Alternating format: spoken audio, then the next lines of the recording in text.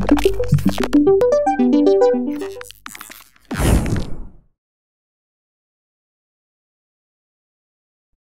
and welcome to this MAMP PRO 5 screencast. Today I'm going to be talking about installing Joomla. Okay, this is very simple on uh, in MAMP PRO 5. I'm going to call my, uh, make a new host first, and I'm going to call it my Joomla host. I need to find a document root, or make a document root, and I'll call it uh, my Joomla host uh, document root, and choose, and here's my document root. Username, websites, my Joomla host. And I simply uh, have to uh, click this to create the host and save and restart my servers. After that is done, I can go down here to the extras feature and pull down Joomla 3.8.13 at this time and press continue. Uh, uh, going to make a uh, email here, just a, um, fake email.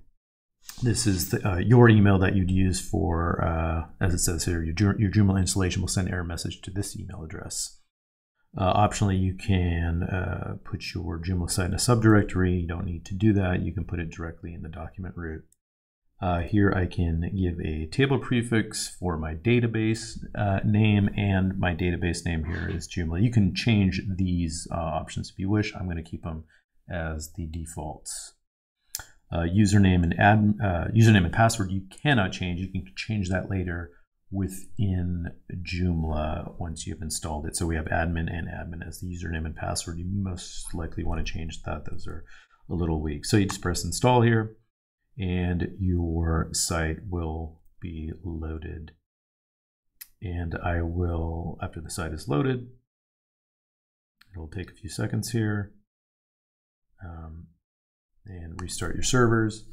And then we can view our uh, website. You can see here, Joomla 8 3.8.13 is loaded um, in document root, and the name of the database here is Joomla with a prefix of Joomla underscore.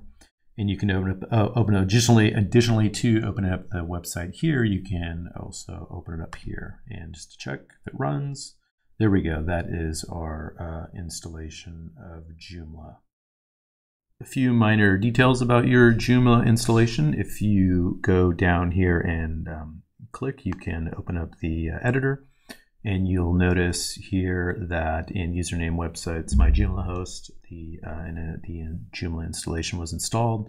If you go here to your configuration of PHP, you can see some of the uh, settings that we set, migrate site, um, the host is localhost, the, the MySQL, MySQL user is root with password default of root. And if you have not changed that from the default MAMP PRO um, setting, uh, the database name is Joomla, prefix Joomla underscore. So all these uh, um, settings got uh, put into this configuration.php file, which is in the document root of uh, your Joomla uh, installation.